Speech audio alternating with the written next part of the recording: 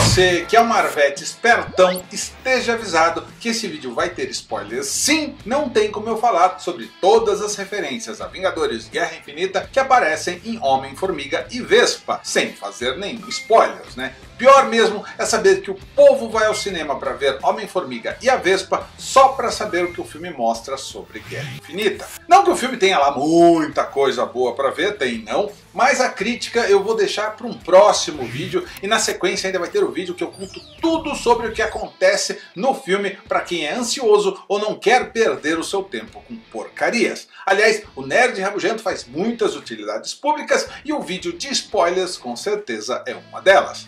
Tecnicamente, Homem-Formiga e a Vespa é a frequência de Guerra Infinita, pois ele se passa antes dos acontecimentos do filme do Thanos. Então, avisando de novo que esse vídeo tem spoilers, a partir de agora eu vou dar todas as referências a Vingadores Guerra Infinita que aparecem em Homem-Formiga e a Vespa. Todas!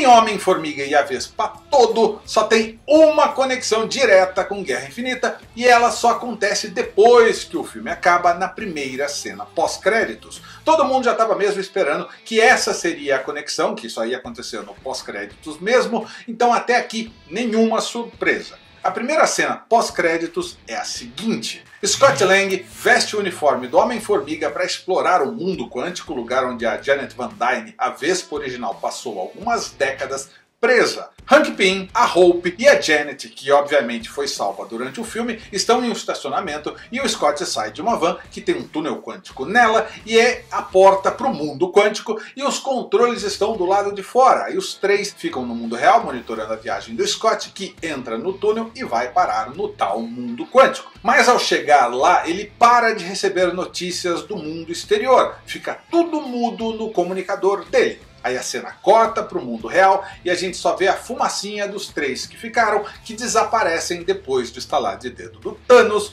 e o Scott Lang se vê perdido e isolado no mundo quântico. Aí ele fica se perguntando assim, gente, gente, tem alguém aí? E essa é a única referência a Vingadores Guerra Infinita que aparece em O Homem-Formiga e a Vespa. Tem uma segunda cena pós-créditos, onde aparece aquela formiga tocando bateria que a gente já tinha visto antes nos trailers, mas você não precisa ficar até o fim. Essa segunda cena é uma que não acrescenta nada ao filme. A cena da viagem quântica é a única referência direta que acontece no fim do filme. No meio acontecem algumas coisas que sugerem possibilidades, mas fica tudo realmente na sugestão. Depois que eles resgataram a Janet no mundo quântico, ela volta com alguns poderes e diz que lá no mundo quântico o tempo age de maneira diferente. O que não explica bolhufas, pois ela envelheceu do mesmo jeito. E não ficou claro como ela ganhou esses poderes, as coisas que ela viu enquanto estava lá, do que ela se alimentou nesses anos todos. O filme filme não explica nenhuma. Foi aquela explicação vazia para depois eles inventarem poderes estranhos pro Homem-Formiga em Guerra Infinita 2 e ninguém reclamar. Os caras poderiam ter criado uma cena final muito Roger, pegando os dois filmes, com os nossos heróis sabendo da invasão de Thanos, indo pro mundo quântico para tentar achar a solução para ajudar os Vingadores e tal, sei lá, alguma bobagem assim, mas não. Se eles desapareceram, logo o Thanos já tinha invadido Nova York, já estava explodindo Wakanda, todo mundo já estava polvorosa.